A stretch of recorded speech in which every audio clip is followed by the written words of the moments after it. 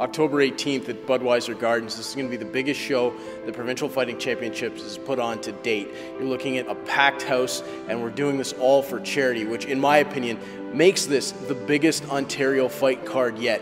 When you put together knockout kidney disease with Provincial Fighting Championship in a venue like Budweiser Garden, in a city like London, and a card packed with hometown, homegrown talent, this is going to be the biggest fight show that Ontario fight fans have seen outside of the UFC. This is the top guys available right now and doing it for the best possible cause.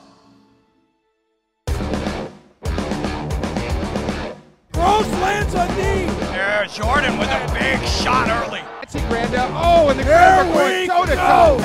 As Ronson's just raining down. The elbow going. Oh, Protestant with it. Second kick to the body. Another liver. Oh, dominating the liver here in this early in the second, throwing some massive, devastating elbows. Gonna be watching this. He'll step in, and Ronson's got him by TKO.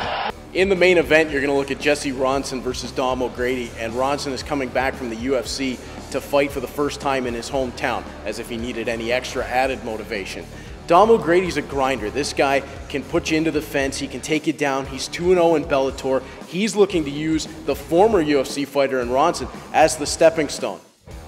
I'm Jesse the Body Snatcher Ronson. I'm fighting out of London, Ontario, under the Adrenaline Training Center. I fought for Showdown uh, two years ago, doing a professional kickboxing fight. Now I'm excited to do professional MMA. What separates me from everybody in my division is that I'm better than them. Nobody can hang with me because I put it on them and they all break before I do. I just generally beat people and then choke them because they can't defend it.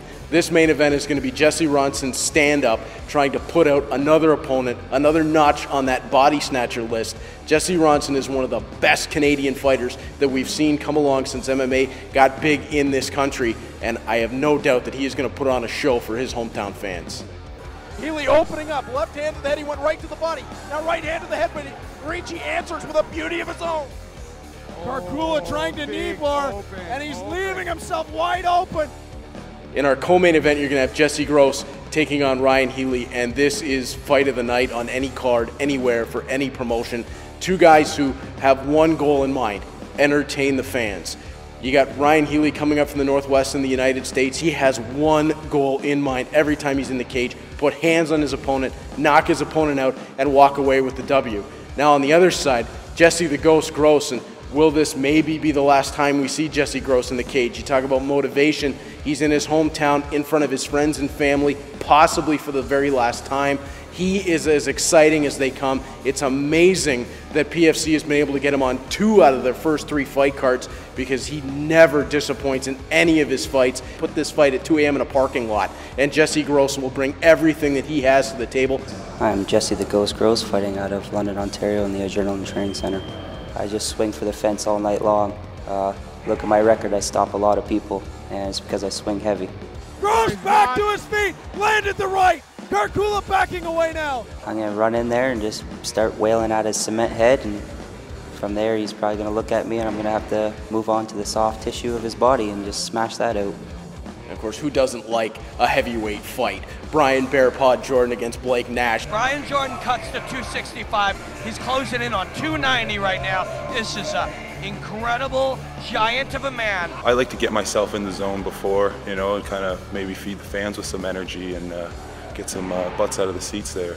These heavyweights are going to put on a show in Budweiser Gardens. Two hard-hitting guys with good chins going at it and put on a show for the fans. I'm uh, Chris Lee Byrne. I'm fighting out of Adrenaline Training Center in London, Ontario. My favorite submission would be verbal abuse from Neon Belly. I compete every two or three weeks in Brazilian Jiu Jitsu. Uh, obviously, that's a big part of my game, so um, I'm not going to rush it, but if I can get it to the ground, I'm, I'm going to.